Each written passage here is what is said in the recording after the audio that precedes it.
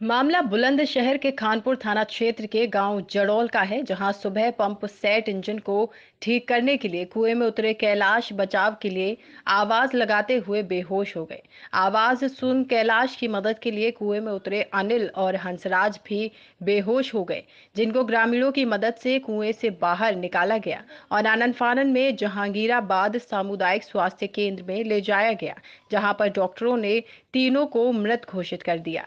घटना की सूचना पाकर आला अधिकारी मौके पर पहुँचे और परिजनों को सांत्वना देते हुए शवों का पंचनामा भर पोस्टमार्टम के लिए भिजवाया। सयाना तहसील में जाड़ौल गाँव है खानपुर थाना क्षेत्र के अंतर्गत। आज सवेरे आठ बजे एक किसान अपने बोरवेल में मोटर ठीक करने के लिए उतरे थे। जब वो, उनको कोई प्रॉब्लम हुई, उन्होंने बाहर आवाज़ दी तो दो लोग और उतरे। अनिल हंसराज और कैलाश, और तीनों की उसमें सांस में लेने में दिक्कत आई, उनको अस्पताल लाया गया, जहाँ डॉक्टरों ने उन्हें मृत घोषित किया है। बहुत ही दुर्भाग्यपूर्ण घटना घटी है।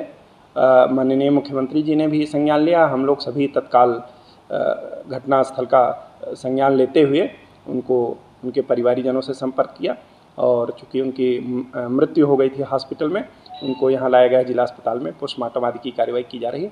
माननीय मुख्यमंत्री जी ने सभी मृतक के परिजनों को पाँच पाँच लाख रुपए की सहायता देने की घोषणा की है।